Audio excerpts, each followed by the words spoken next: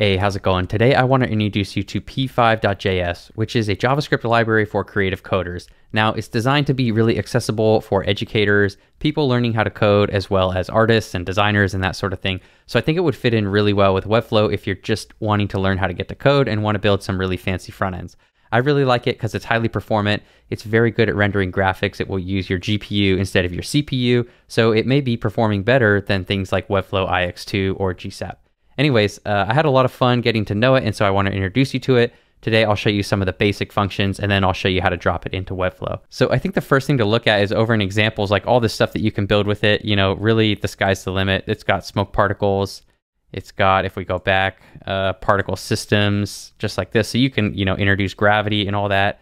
Uh, you can even do 3D stuff. It's got input, so it's like tracking my mouse position here and it it'll interface with the microphone on your computer. It'll interface with uh, stuff on mobile like acceleration. So just a ton of options for what you can do, and then flocking behavior here. So yeah, it's a lot of fun.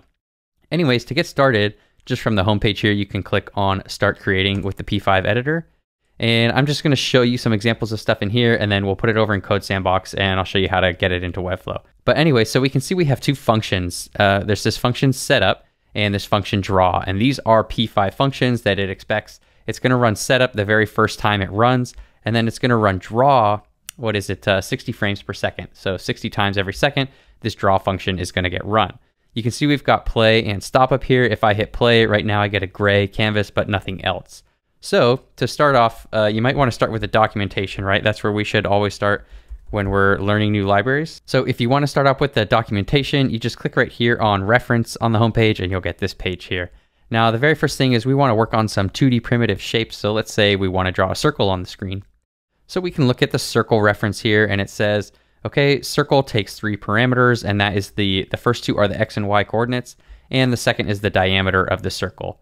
So you can see the syntax here, circle, X, Y, and D. So let's go back to our editor and we'll draw a circle uh, what is it? We want X, so we'll make it, we'll just set it as 0, 0, and we'll give it a diameter of 50. Now, if we play, we can see we've got a white circle up here with a black stroke uh, right at 0, 0. Now, if we wanted to put it right in the middle, then we could change this to 200. And now we've got a circle right in the middle. But that's not very fun. So right off the bat, what's so cool about P5 is that we can just say mouse X and mouse Y, Again, you would want to reference the documentation to know that this exists, or just start looking at some examples and see what P5 exposes to us as developers. But I'll click play, and now I have a circle that's just following my mouse on screen. Uh, so really easy to set up these kind of fun interactions and stuff like that. Now in draw, we have, we're drawing our background every time. In 220, this is just a gray value that's giving us that gray. But let's say we just kind of, we didn't want to draw every time. So if I cut that and just paste it up here, and I run, now we see we're drawing the circle every time and we're getting a totally different artistic feel to this. And what else do we want to do? So we're drawing the background. Let's say, you know, we want to introduce some randomness. So we could say let r equal random. Again, another P5 function that they give us is this random one. And if I say random 100, it's going to give us a value between 0 and 100. I can go ahead and console.log uh, that value r. And then for the size of the circle, let's set it to r. And we'll hit play. And now we can see up at zero, zero here, we've got our circle just pulsating like crazy. And as we draw our mouse along, we're getting all different sorts of sizes. So that's also pretty fun. Uh, but, you know, that's also pretty annoying to the user because in the back of my mind, as a freelance web designer, I want to know like how can I make an interaction that's kind of a little bit more useful and and brings just kind of like little bits of delight to the user, right? Um, or you know maybe you do want a really fancy and gaudy animation. Uh, so maybe let's do that. Anyways, what I'm going to do is I'll bring background back down here into the draw function. It's really common to see this up top. And this can take an RGB value. So like if I did 40, 40, 40, and 100, this is saying red value of 40, uh, green of 40, and B stands for blue of 40 and 100 opacity. So basically no opacity. And now we're getting more of a black background. And we want to get rid of this pulsating circle because it's just killing my eyeballs right now. So let's set this to 100 and click play, and now that's stuck up and following our mouse again. But I want to put this back in the middle, and I'm also going to get rid of console.log down here because that's actually, I'm noticing, causing just a little bit of slowdown, that fact that we're logging every 60 times per second. So we got rid of that, and right now we can see we're creating a canvas that's 400 pixels by 400 pixels. So if I pop 200 in here, then we're gonna get back to being in the center.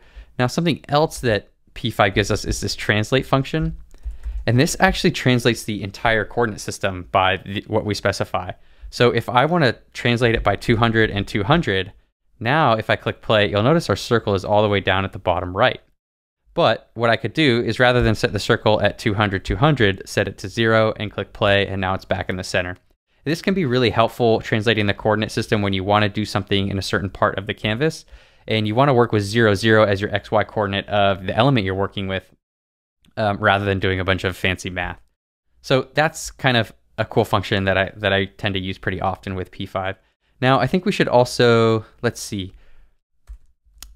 as web developers, we want our websites to be responsive. So it's important to kind of think about what our width and heights are going to be. You know, if we set this to 400 by 400 pixels, definitely not going to be responsive. So we can set a um, a width and a height to, let's set it to 600. And we'll set this to W and this to H. And then our translate will be width divided by 2 and H divided by 2. So we're just setting ourselves up for future success. Future Keegan will thank us. Uh, all right, so we've got the translate that's down and that's still in the middle. And let's go ahead and make this move, do just a little bit of animation before we drop it into Webflow. Now, something I think that's cool is like using sine, uh, essentially, which is an easing function of sorts. So we'll say let wave equal sine, again, something P5 is giving us. Um, actually, before I get into this, let me comment that out. Uh, if I just want to move the circle to the right, like let's focus on just moving that. Let's say we'll let x equal zero. We're defining a variable called x just right up here. And then in our circle, let me bring this console down so you can see everything. We will set the x value to x and we will increment x by one every time the draw function is called, which remember is called 60 times per second. And now if we click play, we can see our circle just moving off to the right here. It's gonna go off screen and we're never gonna see it again. Now that's okay. Um, but you know, we, we made this variable x. Something else we can look at if I console log frame count, another thing offered to us by P5, down in console, you'll see that it's counting up from zero essentially, and it's just gonna keep going. So every frame gives a number. Uh, and so we can use this frame count in place of X. So we don't actually need this variable X, so I'll delete that. I'll delete this down here, and rather than put X there, I'll put frame count right here. And there we go, exact same functionality happening, but uh, we don't need another variable. So let's get back to this kind of sine thing we got going here. Now we know that sine will return us a value between negative 1 and 1. So if we just plug frame count into there, then let's console log what wave is, but let's also set the x value to wave. And now we can see our circle is kind of doing this jitter thing. It's, it's not moving far between 1 and negative 1. If I multiply this by, say, like 50, then it's moving, but it's, it's moving way too fast. So something else we can do is rather than use degrees, convert this to radians and click play. And now we get a nice slow ease and movement of the circle. And we could, you know, increase the ampli amplitude by changing 50 to 100 and it'll go a little bit further on the screen, things like that. So this is kind of cool. Let's go ahead, you know, we're just modulating the X value right now. I'm gonna get rid of this console log. Let's essentially just copy this. And rather than sine, we'll call it cosine and we'll call this first one wave sine and the second one wave cosine. And uh, the x value is going to stay as wave sine and the y value will stay as wave cosine. Now, if you remember your ninth grade math, when I click play, what do you think we're going to get? That's right, we're going to get a circle. Pretty cool. But it's honestly not that hard to do circles in, uh, you know, Webflow IX2 uh, because what we could do is kind of set it up so that the circle's at the end of a div and then just rotate that div. Um, so rotations are pretty cool. But let's say, oh, like rather than cosine, if I change this to tangent and change the variable name as well, now I'm probably going to get something a whole lot different. It's following a tan, like a tan function, and it's switching because of the sine every time. So that's pretty cool. Uh, and then what else? Something you can change is this opacity. Like if I change this to 90, we'll start getting trails, which is kind of fun. Um, but we'll just simplify and leave it to 40 right now, which is going to give us the exact same thing that we had before. And what's the other thing I want to show before we pop this over into Webflow? Uh, let's go ahead and just create one more circle. And I'll just swap these. So this will be wave tan, and this will be wave sine, and save. And now we've got these two circles rolling about. And you know, I don't like that stroke there, so I'll just say no stroke all the way up here. And we should see that stroke go away. Yep, it does. And imagine like once we start introducing the concept of loops in programming, how we could get like a hundred of these on screen and make them small and give them a little bit, um, you know, make them really uh, more see-through so they don't obtrude with the user on the screen as much. Anyways, that's a lot of things to say. I think this is a cool example to just try to chuck into Webflow and we'll play around with some other DOM elements like heading.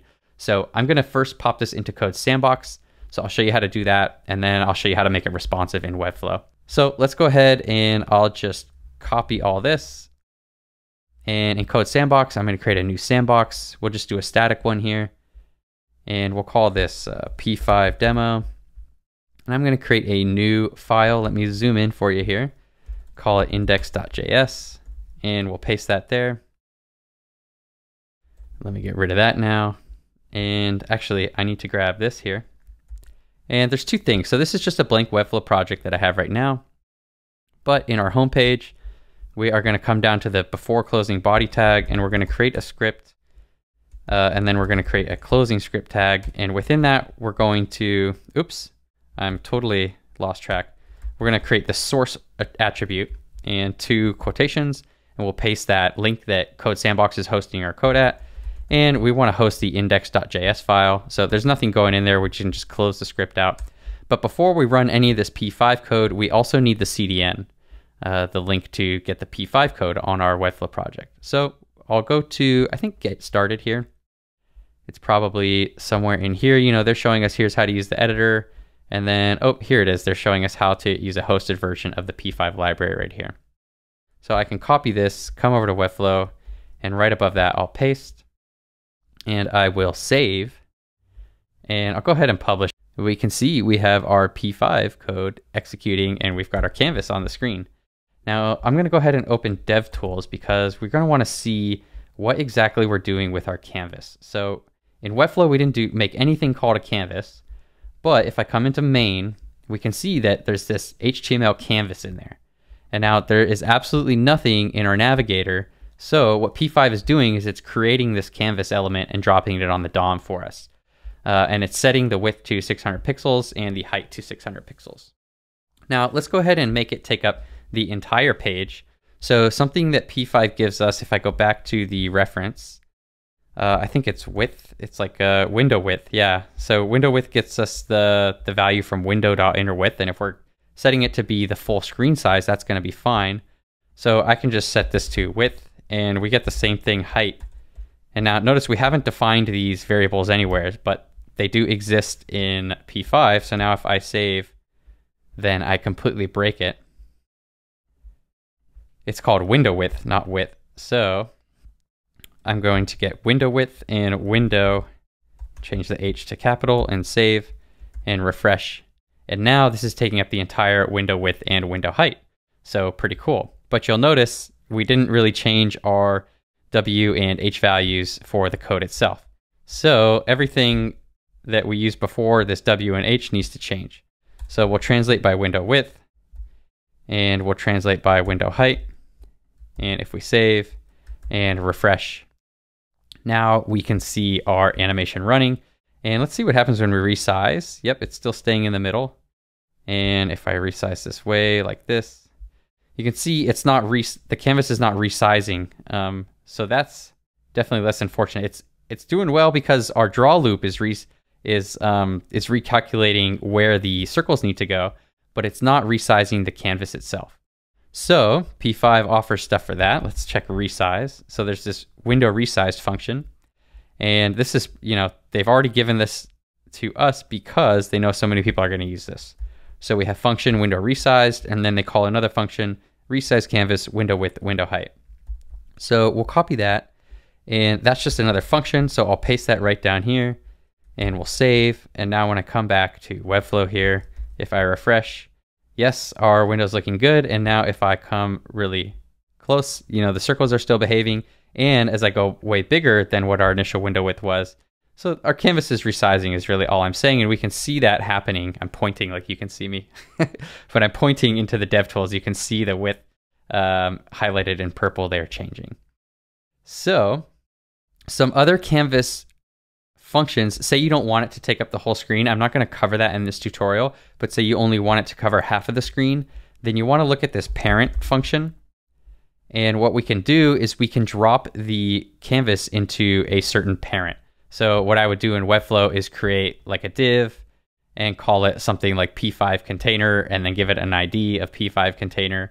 And then over in the code, set the, you know, store the canvas in a variable and drop it in a container. So I think I'll show you how to do that in another video because this one's already going on long enough. Hey, I hope you liked that video. P5 is a lot of fun and there's so many possibilities with it. If you liked the video, be sure to like and subscribe. That helps me a lot. Also in the next video, which when it's done, I'll link it right up here. I'm going to cover how to add a bunch of content to Webflow and Designer and like if it's not full screen, what are we going to do? How are we going to drop it into another div? So I'm going to cover all of that in the next video. Again, be sure to check that one out when it's live. I'll see you in the next one. Bye bye.